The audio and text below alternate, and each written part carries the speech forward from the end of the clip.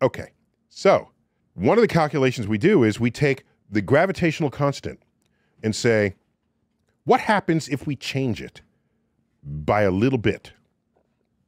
What are the consequences to the universe? It turns out that you run the gravitational constant through your equations of a star, and if you change the gravitational constant by a little bit, increase it by a little bit, mm-hmm. It has stupendous consequences on the luminosity of stars. The luminosity of a star is dependent on the seventh power of the value of the gravitational constant. So if I double the value of the gravitational constant, was 2 to the seventh power. Okay?